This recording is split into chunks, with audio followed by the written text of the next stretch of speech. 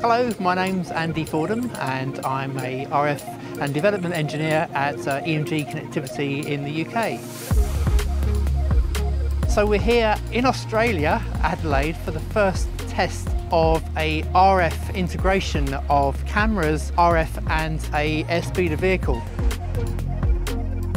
So today what we've done so far is we have got cameras in the airspeeder vehicle. We've got four antennas up here on top of our shipping container and we've got our Fusion RX receiving unit.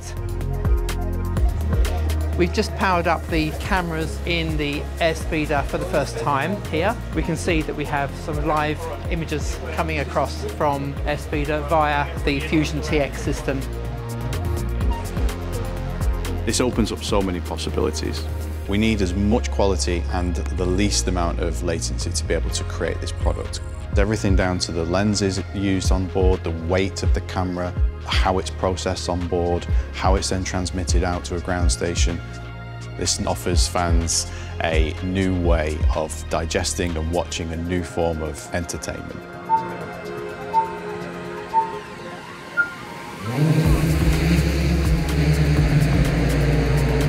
Pilots themselves to be able to see where they're going. For the fan, it is an immersive environment. They get to choose which camera positions they want to watch.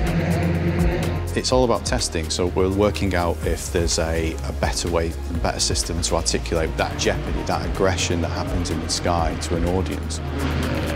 As the EXA series continues to grow, we continue to learn from it and develop the technology. The crewed vehicles will also be co-evolving.